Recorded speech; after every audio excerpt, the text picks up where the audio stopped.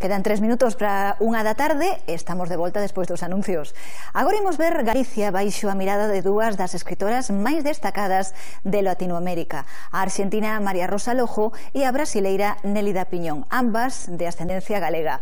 Contaron en Bos Aires a súa visión da emigración galega cara a América a través das súas propias historias.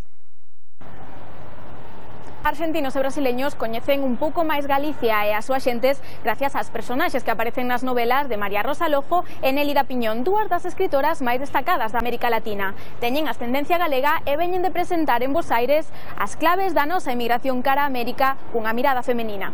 Estas brillantes escritoras que coñecen en profundidade a emigración galega sorprenderon coas súas argumentacións os participantes da Cátedra Galicia América.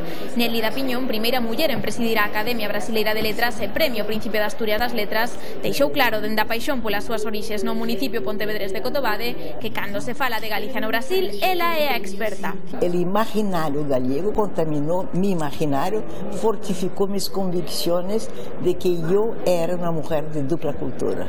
A extensa obra de María Rosa Lojo reflexa como Argentina e Galicia se nutriron mutuamente cos camiños de ida e volta da emigración. La identidad gallega en Argentina, que yo la llamo en un ensayo criptoidentidad, porque parece oculta, parece parece oscura, eh, parece negada, en realidad está negada de tan evidente que es. Ambas autoras contaron anécdotas das súas investigacións ante un público que tamén puido compartir as súas experiencias.